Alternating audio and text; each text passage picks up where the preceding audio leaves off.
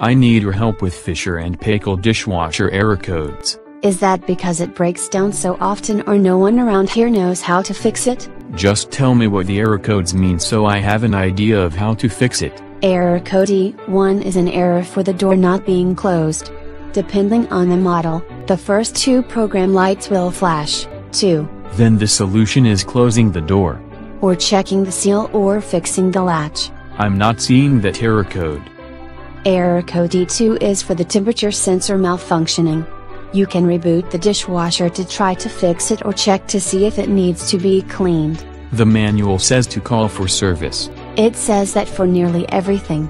E3 is the error for the water level being too low, usually because the drain hose is too low. I think that error causes the first and fourth program lights to flash. If the error occurs, you could have a problem with the water inlet letting water in or leak letting water out. The latter case I could diagnose myself based on the growing puddle on the floor. The E4 error is the opposite, when the dishwasher isn't draining. Assuming I don't accidentally drain it by opening the door. The cause could be a crimped drain hose, dead drain pump or drain hose too high. It isn't like I move the hose around on a regular basis. The E5 error code occurs when there isn't a good water supply.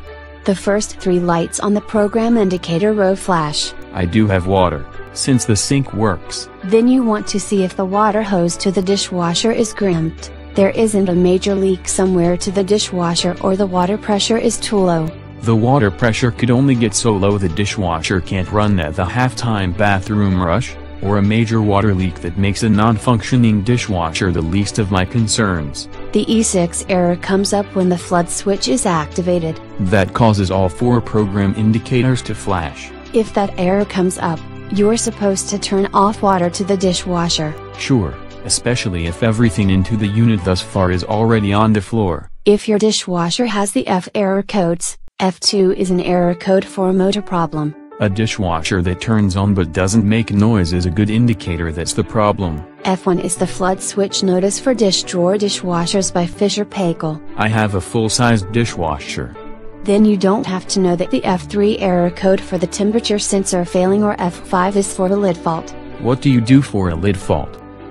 Try to turn off the dishwasher and back on to try to clear the fault, and if rebooting the appliance doesn't work, call for service. At least I won't feel as bad calling for service and paying them to do the same basic tech support solution as my gaming console.